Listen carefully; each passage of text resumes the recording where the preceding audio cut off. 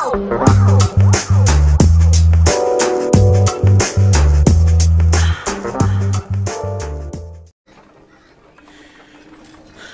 what's going on? It's Zen. We back in here with another video.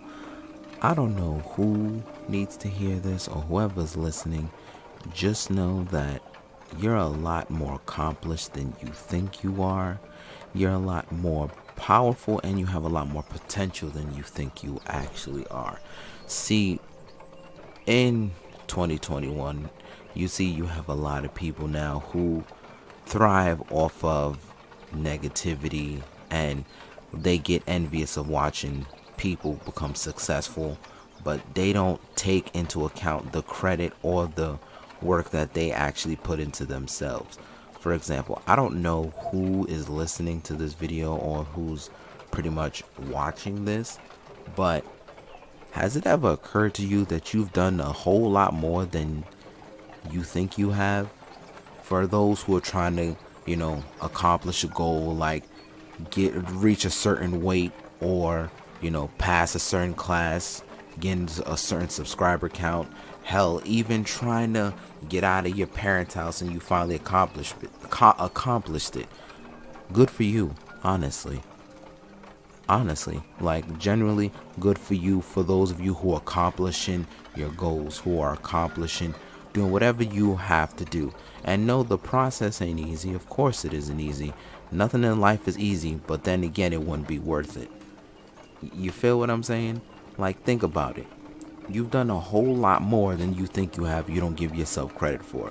When's the last time you looked in the mirror and was like, yo, you know what? I'm doing fantastic. I'm feeling good. I'm feeling great. I'm just all over, I'm just doing all around an amazing job. You know, success doesn't happen overnight. It takes time, it takes dedication, it takes perseverance, and it takes consistency. If you are doing all of these things, then honestly, you deserve a pat on the back. And that pat on the back has to come from yourself. The reason why I say that is because a lot of people don't do that. They don't pat themselves on the back anymore. A lot of people seek validation from others when you need to seek validation from yourself. You're doing it. You know, you're progressing. You become you're knocking down obstacles. You're overcoming, you know, blockades that were originally that originally were hindering you. You know, and a lot of people don't seem to understand that. You know, that goes a long way. You know, for example, I'm gonna use myself when I first started going to college last year. It was a big step. Was I nervous about it? Yeah. Like I had put it off ever since I like went out of high school, you know. I had put it off. And when I tried it, it was a new experience, but I learned from it, you know. I tried it, I learned from it. I just kept progressing. And you know what? I completed two semesters. Was it an enjoyable experience? No. But it still was an experience and I learned a lot from it. And it taught me a lot of things. And it also taught me a lot of things about other people too. So I say that all to say, give yourself some more credit. You know, honestly, this may sound funny to you, but like I'm talking about me for a second.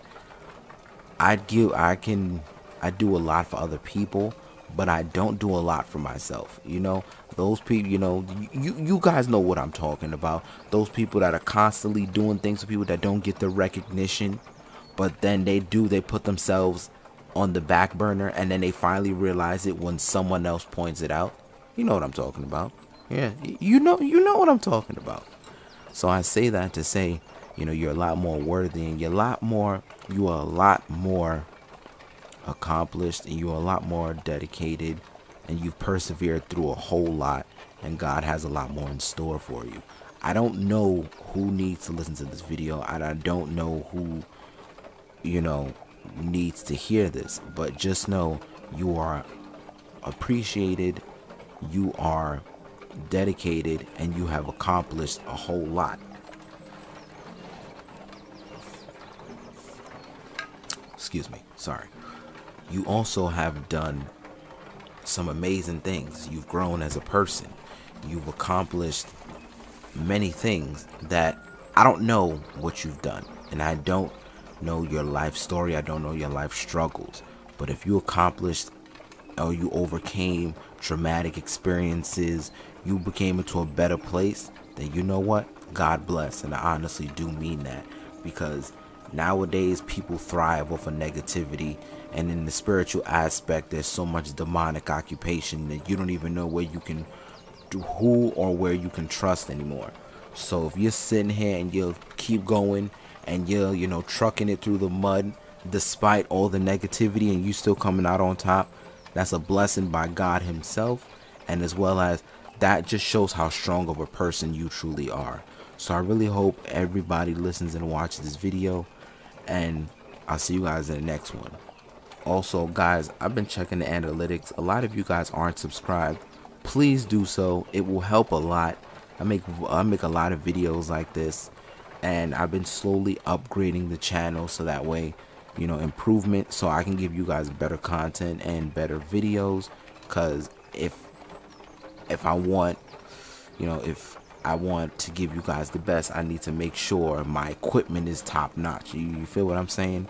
So please like share comment and subscribe and i'll see you in the next one